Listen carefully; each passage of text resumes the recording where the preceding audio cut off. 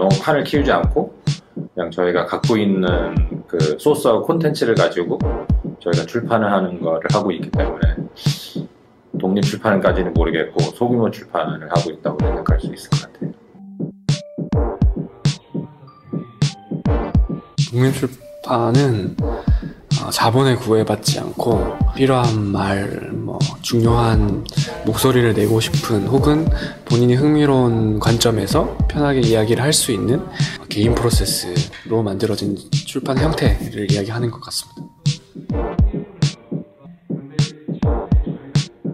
부말람은 페미니즘을 전문으로 출판을 하는 독립출판사이고요.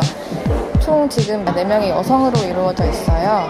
역할 분담이 각각 되어 있고 저희 4명이서 직접 기획을 하고 글을 쓰고 그리고 책을 펴내고 있어요. 독립출판을 하는 소수의 구성원들이 직접 하고 싶은 이야기를 목소리를 내는 것을 독립출판이라고 하고 있어요.